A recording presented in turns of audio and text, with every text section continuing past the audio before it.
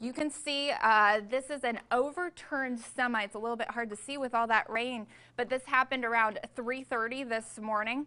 A semi rolled over and then spilled fuel onto the roadway. It is in the cleanup stages, but it's just taking a while to get that whole mess cleaned up. We are still working to learn the driver's condition as well as exactly what caused the crash. And once we learn that, we will be sure to bring it to you.